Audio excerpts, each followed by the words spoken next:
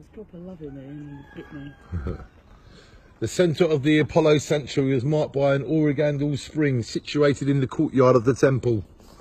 The archaeological remains, which are still visible today, belong to the Hesiodont period and replaced by an older temple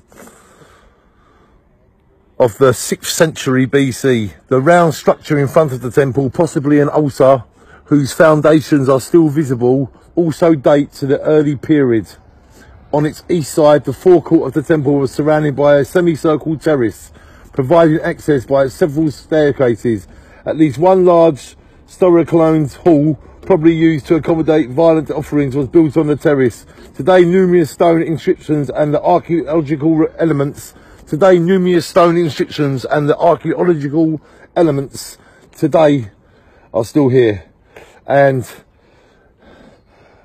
are on display of the terrace. There is no secure evidence for the outer boundary of the sanctuary, the exact location where the sacred way from the Miletus entered the sanctuary. The high wall, which today encloses the area around the temple, was erected in the earlier 20th century using stones from the collapsed temple building.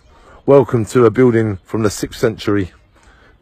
Madame Medusa, the legends, welcome. Apollo Theatre.